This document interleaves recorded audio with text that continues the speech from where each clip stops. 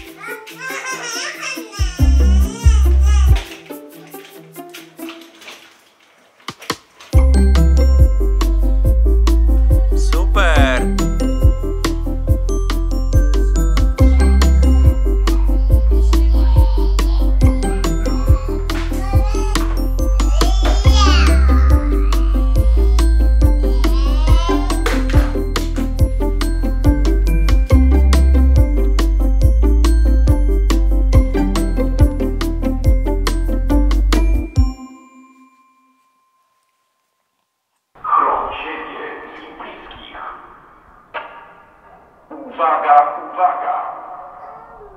Policja informuje. Mamy stan epidemii. Osoby łamiące przepisy